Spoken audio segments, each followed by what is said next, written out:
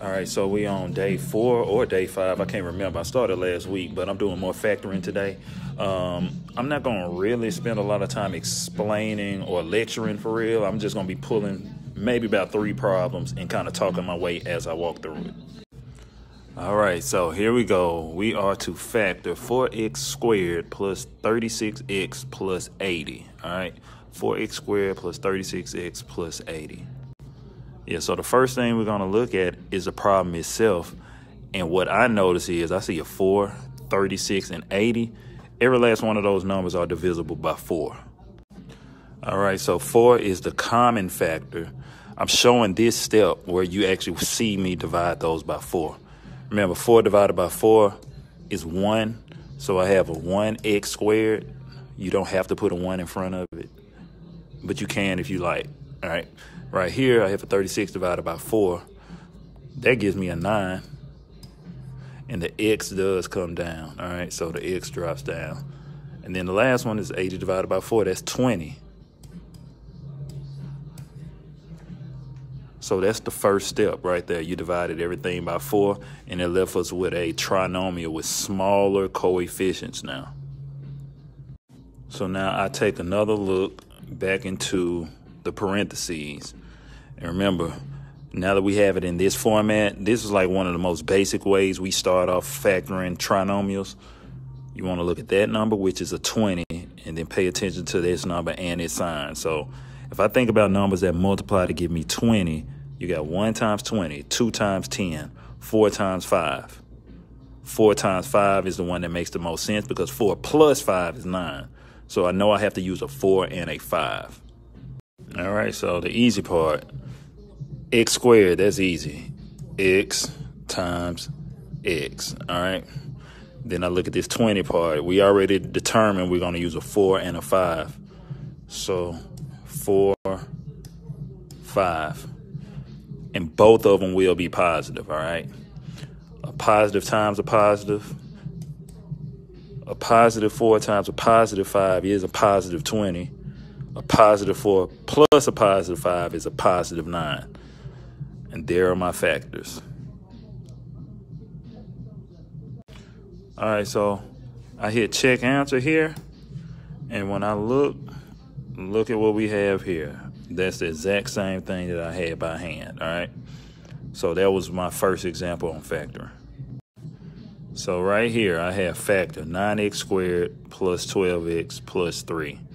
All right we paid attention to the last example, the first thing you want to do is pay attention to all the numbers. And if they have something in common, that's where we start with what they have in common. All right, so 9, 12, and 3, everything's divisible by 3. All right, there it is. Everything's divisible by 3. Everything's divisible by 3. That's why my 3 is there.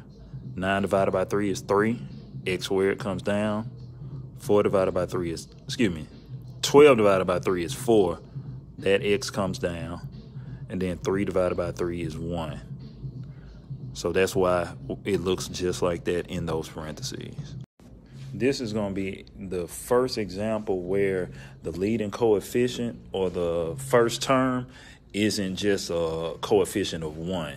So in other words, this is the first example that I'm going to deal with instead of it being a 1 here or something that you don't see it's a three here now. So we have to think about this slightly different. It's not harder, but you do have to pay attention to more detail now.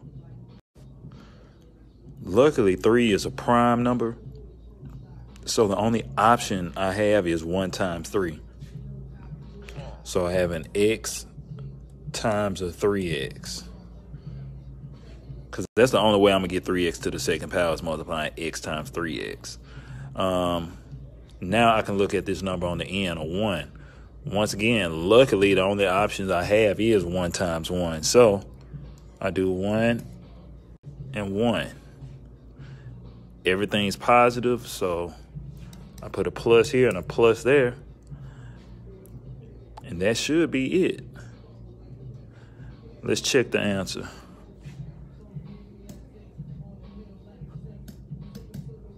Let's see.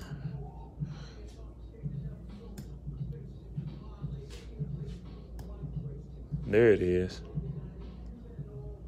There it is. That's correct. I'm going to show you how we check by hand also. All right, so if we're verifying by hand, the two things that we have in parentheses, or my two factors in parentheses, is x plus 1 and then 3x plus 1. Over here, I have an x plus 1. Then over here, I have a 3x plus 1. So you list your factors out, one vertically, one horizontally. And don't forget, what we're going to be doing here is multiplying everything, all right? We're going to be multiplying everything together and placing them in boxes.